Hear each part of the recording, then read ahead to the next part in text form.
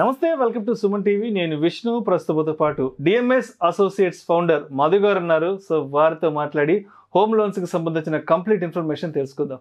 Sir నమస్తే sir Madhu గారు. నమస్తే విష్ణు గారు. సార్ మధు గారు ఇప్పుడు సమ్ ఎక్స్ అనే పర్సన్ ఒక యాభై లక్షల రూపాయల్లో ఇల్లు కట్టుకుందామని రెడీ అయ్యాడు. సో బ్యాంకుకి వెళ్ళి యాభై లక్షలకి లోన్ అప్లై చేసుకుందాం అని అనుకుంటున్నాడు. సో ఒక లోన్ కోసం ఒక పర్సన్ బ్యాంకుకు వెళ్ళే ముందు తన వైపు నుంచి తాను ఏ విధంగా సిద్ధంగా ఉండాలి అంటాడు అసలు? ఎవరైనా హోమ్ లోన్ తీసుకునే ముందు కొన్ని పాయింట్స్ చెక్ చేసుకోవాలి సార్. సెల్ఫ్ సెల్ఫ్ చెకప్ అనుకుంటారు. ఎవరైనా. జనరల్గా Mm. చేసుకుంటారు బట్ బ్యాంకింగ్ టెర్మినాలజీలో ఫస్ట్ ఆఫ్ ఆల్ మనం మార్జిన్ మనీ ఎంత కట్టగలుగుతాం? ఎందుకంటే బ్యాంక్ ఇచ్చేది in case of thirty lakhs and below loan amount అప్పుడు ninety percent of the amount లోన్కి ఇస్తుంది. Ten percent of the amount వాళ్ళు మార్జిన్ మనీ పే చేసుకుంటే సరిపోతుంది. అదే thirty lakhs and above loan అమౌంట్కి వెళ్ళినప్పుడు ఏమవుతుంది అంటే ట్వంటీ పర్సెంట్ మార్జిన్ మనం పే చేయాల్సి వస్తుంది. ఎయిటీ పర్సెంటే బ్యాంక్ లోన్ ఇస్తుంది. సో ఆ మార్జిన్ మనీ మనం కట్టగలుగుతామా లేదా అనేది ఫస్ట్ చెక్ చేసుకోవాలి. అండ్ సెకండ్ వచ్చేసి టెన్యూర్ ఎంత తీసుకోవాలి. లోన్ టెన్యూర్ మనం టెన్ ఇయర్స్కి టెన్ ఇయర్సే టెన్యూర్ పెట్టుకున్నప్పుడు ఏమైతుందంటే ఈఎంఐ ఎక్కువ పడుతుంది. థర్టీ ఇయర్స్ ఈఎంఐ పెట్టుకున్నప్పుడు ఏమంటే ఈఎంఐ చాలా తగ్గుతుంది. సో ఆ టెన్యూర్ ఎంత తీసుకుంటే బెటర్. And interest rates. ఎందుకంటే సార్ యాక్చువల్గా అన్ని నేషనలైజ్ బ్యాంక్ చూసుకోండి ప్రైవేట్ సెక్టర్ చూసుకోండి ఎన్బిఎఫ్సి చూసుకోండి. అన్ని మంచి పెద్ద బ్యాంకులే అన్ని మంచి బ్యాంకులే. కానీ చూసుకుంటే జీరో పాయింట్ ఫైవ్ పర్సెంట్ నుంచి వన్ పర్సెంట్ వరకు వేరియేషన్ ఉంది. సో ద బెస్ట్ బ్యాంక్ ఏంటి అనేది కూడా ఒకసారి మనం సర్వే చేసుకుంటే బెటర్ సార్. అంటే లైక్ మాలాంటి డిఎంఎస్ అసోసియేట్స్ మేము సింగిల్ ఫోన్ కాల్తో ఎందుకంటే మేము మేము ఎయిటీన్ ఇయర్స్ నుంచి నేను యాజ్ ఏ మధుసూదన్ నేను ఎయిటీన్ ఇయర్స్ నుంచి లోన్స్లోనే ఉన్నాను. డిఎంఎస్ అసోసియేట్స్ నేను ఎస్టాబ్లిష్ చేసి ఎయిట్ ఇయర్స్ అవుతుంది. సో కంప్లీట్గా బ్యాంకింగ్ సిస్టంలో ఉన్నాం కాబట్టి మాకు ఒక సింగిల్ ఫోన్ కాల్తోనే మీకు ఎంత రేట్ ఆఫ్ ఇంట్రెస్ట్ వస్తుంది అండ్ ఏ బ్యాంక్లో the best rate of interest the best processing fee and least processing fee processing fee పడుతుంది అనేది మేము చెప్పగలుగుతాం కాబట్టి అదొకటి చెక్ చేసుకుంటే సరిపోతుంది సార్ సో అదేవిధంగా డాక్యుమెంటేషన్ విషయానికి వస్తే లోన్ కోసం బ్యాంకుకి వెళ్దాము అన్న ఆలోచన వచ్చినప్పుడు ఎటువంటి డాక్యుమెంట్స్ని ఎటువంటి పత్రాలను సిద్ధం చేసుకొని బ్యాంకుకి కదలాలంటారు? అదేంటంటే సార్ తీసుకునే లోన్ అమౌంట్ని బేస్ చేసుకొని ఫర్ ఎగ్జాంపుల్ కొన్ని major బ్యాంక్స్లో ninety lakhs and above loan amount తీసుకున్నారు అనుకోండి one crore and above loan amount ninety above తీసుకుంటున్నప్పుడు థర్టీ ఇయర్స్ లింక్ డాక్యుమెంట్స్ అడుగుతారు ప్రాపర్టీ. ఓకే. అదే one crore below ninety lakhs eighty lakhs అది lower loan అమౌంట్కి వచ్చేసరికి మనకి thirteen years ఇస్తే సరిపోతుంది. So thirteen years thirty years. ఇక్కడ. సో ఆ. విధంగా మనం తీసుకునే loan amount amount link documents అనేది అడగడం జరుగుతుంది. And as well as property లీగల్గా అంటే ఓకేనా కాదా అనేది మినిమం మీరు ఎంక్వైరీ చేసుకోండి బ్యాంక్ ఆల్వేస్ ఫర్ యూ క్లియర్గా దాన్ని వెరిఫై చేసి లోన్ ఇస్తుంది. అండ్ ప్రాపర్టీ వాల్యూ కూడా మనకి ఎఫెక్ట్ ఉంటుంది సార్. ప్రాపర్టీ వాల్యూలో మనం ఏదైతే మార్కెట్ గవర్నమెంట్ వాల్యూ కన్సిడర్ చేయదండి బ్యాంక్ ఎప్పుడు కూడా మార్కెట్ వాల్యూ ఆ ఏరియాలో మార్కెట్ వాల్యూ ఎంత ఉంది ఎందుకంటే మనకి ఆల్రెడీ రెగ్యులర్గా వెళ్ళే మార్క్ వాల్యుయేటర్స్ ఉంటారు. బ్యాంక్ వాల్యుయేటర్స్ ప్యానల్ వాల్యుయేటర్స్ అంటారు. వాళ్ళకి ఆ ఏరియాలో వాల్యూ నిజంగా ఇప్పుడు ఒక్కొక్క ఆయన తెలియక తక్కువ చెప్తాడు లేకపోతే ఎక్కువ చెప్తారు బట్ రియల్గా అక్కడ గ్రౌండ్ లెవెల్లో ఎంత రేట్ ఉంది అనేది మన వాల్యుయేటర్ వెళ్ళినప్పుడు తెలిసిపోతుంది.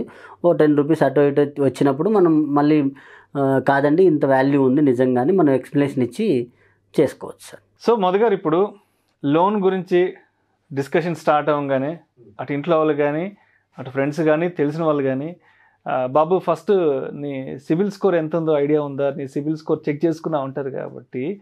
మరి లోన్ కోసం వెళ్ళే ముందు అసలు మన సిబిల్ స్కోర్కి సంబంధించి ఎటువంటి విషయాలు తప్పనిసరిగా మనం చెక్ చేసుకోవాలి అంటారు? అదే సార్ ఇంతకుముందు ఎపిసోడ్లో నేను చెప్పిన విధంగా మనం హెల్త్ చెకప్ ఎలా అయితే చేసుకుంటామో ఫైనాన్షియల్ చెకప్ అంటే Hmm. క్రెడిట్ చెకప్ అనేది ఒకటి ఉంటుంది సార్. మనం సిబిల్ డాట్ కామ్ లాంటి సైట్లో డైరెక్ట్ సైట్లో ఇప్పుడు మనం సాఫ్ట్ సిబిల్ అంటే పే పేటిఎమ్ పైసా బజార్ వీటిలో తెలుసుకున్న వీటిలో ఏంటంటే ఆ- క్రిఫ్ కానీ క్రిజ్ వీ- వేరే సిబిల్ వస్తుంటాయి. బట్ అలా కాకుండా డైరెక్ట్ సిబిల్ డాట్ కామ్లో మనం సిబిల్ చెక్ చేసుకుంటే మన సిబిల్ అంత బాగుందా లేదా ఉంటే ఏమైనా ఓవర్ డ్యూస్ ఉన్నాయా ఇవన్నీ తెలిసిపోతుంది కాబట్టి ఒకసారి అందులో చెక్ చేసుకొని seven hundred and above CIBIL score ఉందంటే మంచి స్కోరు. అలాంటప్పుడు మనం లోన్కి ఈజీగా వెళ్ళొచ్చు. లేదు అంటే ఏదైనా ఓవర్ డ్యూలు కనిపిస్తున్నాయి అనుకుంటే అవి క్లియర్ చేసుకొని ఒకవేళ బ్యాంక్ ఏదైనా ఇబ్బంది పెడితే దానికి నోడల్ ఇప్పుడు జనరల్గా ఏం జరుగుతుందంటే సార్ ప్రతి బ్యాంకు ప్రతి బ్యాంకుకి సిబిల్ ఆర్బీఐ కొన్ని రూల్స్ వచ్చినాయి. ఏదైనా కస్టమర్ ఓవర్ డ్యూ ఉంది నాది నేను పే చేసినా కానీ క్లియర్ అవ్వట్లేదు అని కంప్లైంట్ సిబిల్కి చేసిన తర్వాత విత్ ఇన్ థర్టీ డేస్లో ఆ బ్యాంకు కానీ క్లియర్ చేయకపోతే ఆ బ్యాంక్ నుంచి ఎవ్రీ ఎవ్రీ డేకి హండ్రెడ్ రూపీస్ లాగా ఫైన్ కట్టాల్సి వస్తుంది ఆ బ్యాంక్ అనేది. ఓకే బ్యాంక్ కంప్లైంట్ ఇచ్చిన తర్వాత కూడా సార్ట్ అవుట్ సార్ట్ అవుట్ చేయకపోతే. థర్టీ డేస్ తర్వాత పర్ డే హండ్రెడ్ రూపీస్ లాగా పే చేయాల్సి వస్తుంది. అందువల్ల ఇప్పుడు సివిల్ మనం ఎప్పుడైనా ఒక డిస్ప్యూట్ రేజ్ చేస్తున్నాం అనుకో నా ఓవర్ డ్యూ క్లియర్ అవ్వలేదు నేను పే చేసిన తర్వాత కూడా అని సిబిల్లో డైరెక్ట్గా మనం డిస్ప్యూట్ రేజ్ చేసుకోవచ్చు.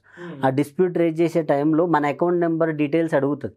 ఎందుకు అడుగుతుంది అంటే ఆ బ్యాంక్ ఖచ్చితంగా పే చేయాలి. As per RBI guidelines as per norms ఖచ్చితంగా ఆ బ్యాంక్ పే చేయాలి. పర్ డే హండ్రెడ్ రూపీస్ లాగా పే చేయాల్సి వస్తుంది. సో అయితే మధు గారు ఇప్పుడు సమ్ ఎక్స్ అనే పర్సన్ ఒక యాభై లక్షల రూపాయలు బ్యాంక్ నుంచి లోన్ తీసుకున్నాడు. ఒక ట్వంటీ ఇయర్స్ టెన్యూర్ పెట్టుకున్నాడు. సరే ఒక ఫైవ్ సిక్స్ ఇయర్స్ లోను కట్టుకుంటూ బాగానే వచ్చాడు. బట్ ఆ సిక్స్త్ సెవెంత్ ఇయర్ నుంచి తనకి ఇబ్బందులు రావడం జరిగింది. అంటే ఇంట్లో తనకున్నటువంటి మిగతా కమిట్మెంట్స్ అయితే ఏమి వీటన్నింటి కారణంగా ఫస్ట్ ఫైవ్ ఇయర్స్ వరకు కట్టగలిగాడు సిక్స్త్ ఇయర్ నుంచి కట్టలేకపోయాడు. సో మరి తాను హోమ్ లోన్ కట్టలేక చేతులు ఎత్తేసే పరిస్థితి వస్తే ఏంటి? దాని తర్వాత పరిణామాలు ఏ విధంగా ఉంటాయి అసలు ఏ లోన్లో అయినా సరే జనరల్గా జరిగేది ఏంటంటే ఒక నైంటీ డేస్ మనం. ఈఎంఐ పే చేయాల్సిన డేస్ నుంచి నైంటీ డేస్ ఈఎంఐ కట్టకపోతే ఫస్ట్ బ్యాంక్ ఒక నోటీస్ ఇస్తుంది. ఆ టైంకి మనం వెళ్ళి ఒక వన్ మంత్తో టూ మంత్స్తో పే చేసుకుంటే మళ్ళీ ఇంకొద్దిగా టైం ఇస్తుంది. ఆ విధంగా చేసుకుంటే మనకు టైం దొరుకుతుంది. లేదు ఇంకా నేను అసలే పే చేయలేను అన్న సినారియాలో నోటీస్ ఇస్తుంది బ్యాంక్ యాక్షన్కి వెళ్ళిపోతుంది. యాక్షన్కి వెళ్ళిపోయి మన ప్రాపర్టీ ఫర్ ఎగ్జాంపుల్ Hmm. రెండు కోట్లు ఉంది. మనది మార్కెట్ వాల్యూ టూ క్రోర్స్ ఉంది అనుకోండి ఫిఫ్టీ ల్యాక్స్ మనం బ్యాంకుకు పే చేయాలి. సో ఆక్షన్లో మనకి ఏదైతే అమౌంట్ వస్తుందో అది బ్యాంకుకు పోని రిమైనింగ్ అమౌంట్ Hmm. మనకి ఇవ్వడం జరుగుతుంది. ఏదైనా కంప్లీట్ నోటీసెస్ ప్రియర్ నోటీస్ వచ్చిన తర్వాతనే ప్రాసెస్ అనేది నడుస్తుందంట. అండ్ అదేవిధంగా రిజర్వ్ బ్యాంకుకు సంబంధించి వార్త ఒకటి అందరూ పెద్ద ఎత్తున డిస్కషన్ చేసుకుంటున్నారు. Reserve Bank of India and Indian గవర్నమెంట్కి two point one trillion amount ఇచ్చిందంటూ కూడా మాట్లాడుకుంటున్నారు కదా. సో ఇది అనేది అంటే ఇది బ్యాంకింగ్ వ్యవస్థకి ఇది ఆ, ఏ విధంగా ఇంపాక్ట్ ఉంటుందంటారు అసలు? సార్ ఇప్పుడు ఇప్పుడు ప్రజెంట్ ఉన్న సినారియాలో బ్యాంకింగ్ వ్యవస్థ అనేది చాలా మంచి కండిషన్లో ఉంది. సో ఈ ఈ గ్రోత్ రేట్ బేస్ చేసుకొని గవర్నమెంట్ ఆఫ్ ఇండియాకి ఈ రిజర్వ్ బ్యాంక్ అనేది Hmm. Two point one trillion dollars అనేది Hmm. పే చేయడం జరిగింది. సో దానివల్ల ఇది గుడ్ సైనే అండ్ Hmm. రీసెంట్గా కూడా మీరు న్యూస్లో చూసే ఉంటారు. లక్ష కిలోల బంగారం లక్ష కిలోల నుంచి ఇంగ్లాండ్ నుంచి ఇండియా. సో తీసుకొచ్చుకొని మన దగ్గరే స్టోరేజ్ చేసుకునే పాసిబిలిటీ ఉంది కాబట్టి ఇక్కడ Hmm. తెచ్చుకొని పెట్టుకున్నారు. సో ఇవన్నీ ఏంటంటే ఉమ్, ఈ లోన్ ఈ లోన్స్ సెక్టార్ కూడా ఇవన్నీ మంచి సైన్లే అని చెప్పుకోవాలి. ఇంట్రెస్ట్ రేట్ తగ్గే అవకాశం ఉంటుంది. ఇది Hmm. This is the right time to purchase. Houses through home loans అని చెప్పగలుగుతాను sir right thank you so much Madhu గారు. Thank you Vishnu home. లోన్స్కి సంబంధించి అదేవిధంగా సిబిల్ స్కోర్కి సంబంధించి అండ్ మరొక ముఖ్యమైన పాయింట్ కూడా చెప్పారు. ఆ హోమ్ లోన్ కట్టలేక చేతులు ఎత్తేసే పరిస్థితి వస్తే మరి ఆ టైంలో ఏ విధంగా ప్రొసీడ్ అవ్వాలని ఇటువంటి హోమ్ లోన్స్కి సంబంధించిన ఇంట్రెస్టింగ్ ఫ్యాక్ట్స్ అన్ని కూడా ఈ వీడియో ద్వారా మన ప్రేక్షకులు తెలియజేయగలిగారు. Thank you so much Madhu గారు. థ్యాంక్ యూ విష్ణు గారు.